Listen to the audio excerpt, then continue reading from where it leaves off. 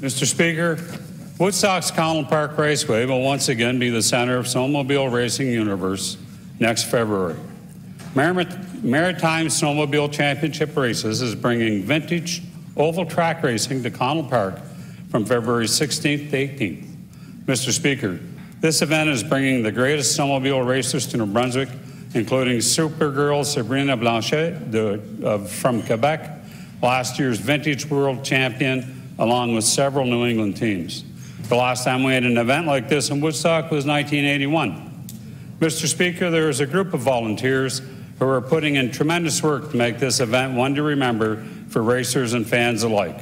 I want to thank them and wish them the very best of success over the next several weeks as they prepare to bring the roar of the sleds back to the Oval at Connell Park. Thank you.